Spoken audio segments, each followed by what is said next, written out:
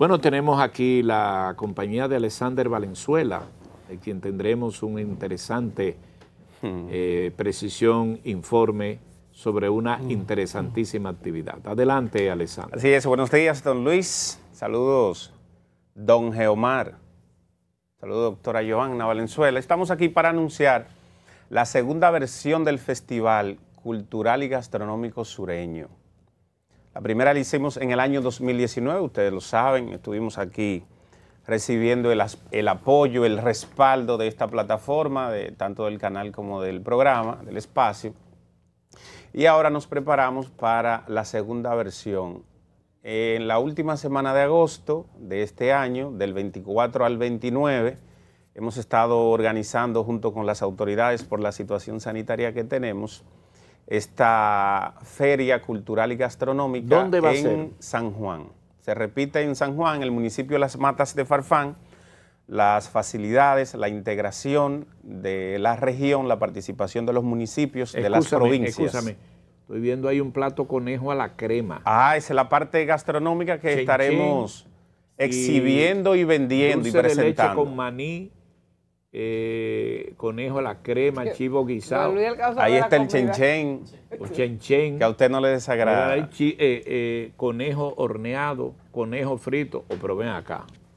Pero eh, eso es en serio. Esa es parte de una cultura. la- el conejo se ha integrado a nuestra cultura por un incentivo que ha habido en, en la región a la producción de esta, de esta carne. Ahí vemos la parte cultural, musical y folclórica, que este año tendrá ciertas limitaciones a propósito de la pandemia del COVID-19. Sin embargo, la, cultivar nuestra cultura, a propósito, ¿verdad?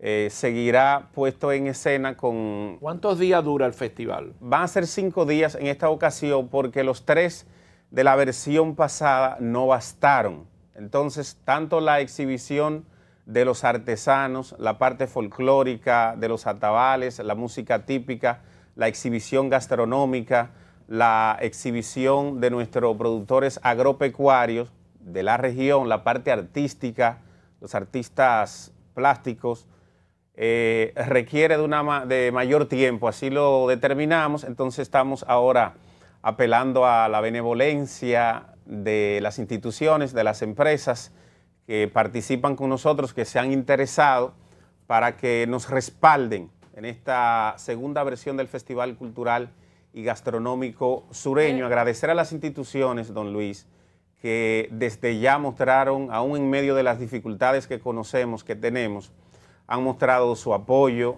Pro Dominicana, ONAPI, la empresa de generación hidroeléctrica, EGEIT, entre otras, como Supérate, Prosoli, que hemos tenido un acercamiento y han tenido toda la disposición. Estamos detrás de turismo y del ministro de Turismo porque el turismo cultural y gastronómico de la región requiere que la institución crea y apoye, respalde este tipo de actividades.